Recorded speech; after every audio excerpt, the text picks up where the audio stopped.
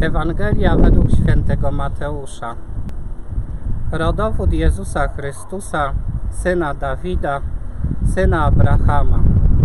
Abraham był ojcem Izaaka, Izaak ojcem Jakuba, Jakub ojcem Judy i jego braci.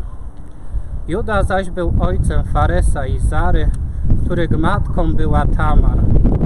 Fares był ojcem Esroma, Esrom ojcem Arama, Aram ojcem Aminadaba, Aminadab ojcem Nassona, Nasson ojcem Salmona, Salmon ojcem Boza, a matką była Rahab.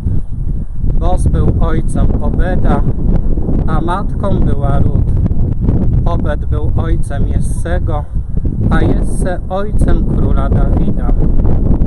Dawid był ojcem Salomona, a matką była dawna żona Uriasza. Salomon był ojcem Roboama, Roboam ojcem Abiasza, Abiasz ojcem Asy, Asa ojcem Jozafata, Jozafat ojcem Jorama, Joram ojcem Ozjasza, Ozjasz ojcem Joattama, Joattam ojcem Achaza, Achaz ojcem Ezechiasza, Ezechiasz ojcem Manassesa, Manasses ojcem Amosa, Amos ojcem Jozjasza, Jozjasz ojcem Jechoniasza i jego braci w czasie przesiedlenia babilońskiego.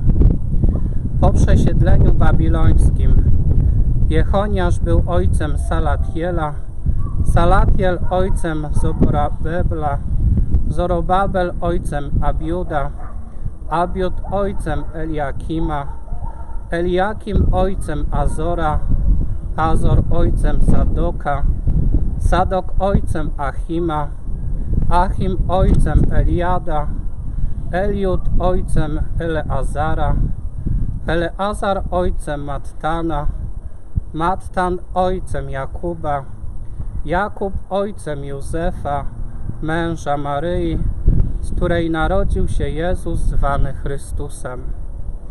Tak więc od Abrahama do Dawida jest w sumie czternaście pokoleń.